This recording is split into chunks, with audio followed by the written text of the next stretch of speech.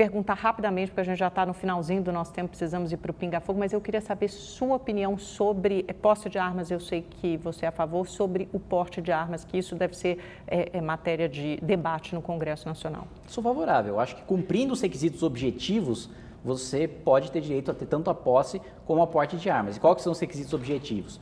Hoje, e eu acho que tem de ser mantidos, você provar que você sabe atirar, passar pelo curso efetivamente, uh, não ter nenhum tipo de antecedente criminal, você tem ocupação lícita e você é, passar pelo teste psicológico. Acho que tendo todos esses critérios objetivos, não há por que privar o cidadão de um direito individual que existe na maior parte das democracias envolvidas do mundo, que é o direito à legítima defesa, de você tanto se proteger. E isso eu acho que a Constituição uh, americana e a, e a e a Declaração de Independência tratam com uma clareza muito boa.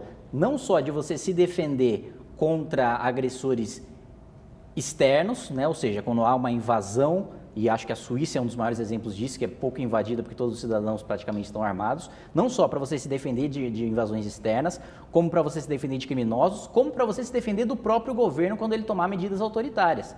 Vale lembrar que a restrição de calibre, por exemplo, que tem nos estados em relação às polícias militares, foi imposta, e hoje faz parte do Estatuto do Desarmamento, foi imposta durante o governo Vargas, não porque Vargas queria que as polícias ficassem mais seguras, que a população ficasse mais segura, porque não queria que os estados se revoltassem contra a sua ditadura. Quase todos os estudos é, sérios sobre segurança pública mostram uma correlação entre um aumento de armas na sociedade e um aumento da violência. Isso não te preocupa? Isso é uma afirmação sua. Porque não, não, eu posso não é, te, eu posso é te mostrar estudo de Harvard, posso mostrar estudo de Oxford que diz o contrário. Não é minha, é de vários especialistas de segurança pública então, que mostram é, essa correlação entre o aumento de armas em circulação na sociedade e o aumento do número de mortes. O que a né? gente tem hoje de concreto é o contrário. Os estados brasileiros mais armados são os menos violentos e, inclusive, a relação que eles tentam, que esses ditos especialistas tentam comprovar de miséria e desigualdade social com violência, caíram por terra durante o governo Lula. Porque qual foi a região que mais se desenvolveu, mais diminuiu a desigualdade social durante o governo Lula? Foi a região Nordeste. Ao mesmo tempo, essa foi a região que ficou mais violenta. Ou seja, a tese de que é simplesmente miséria, falta de educação ou desigualdade social acabou. Pelo contrário, os estados mais armados foram os mais seguros, inclusive os países desenvolvidos mais seguros são mais armados do que o Brasil. Não é verdade. O Reino Unido, por exemplo, não é um não é armado e é muito seguro. Pelo contrário, a violência aumentou depois da proibição das armas, né? Tanto armas. que você tem diversas ocorrências de policiais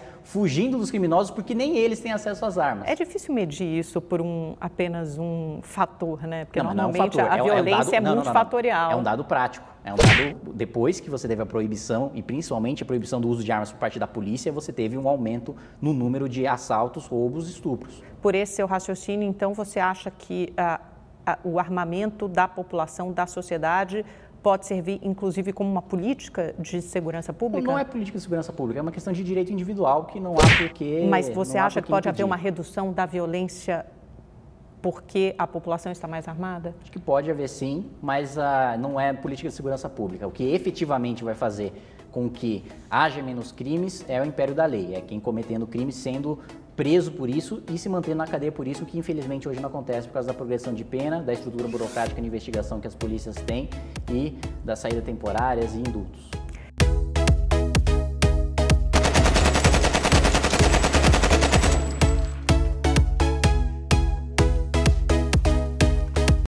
Caralho, o maluco é brabo.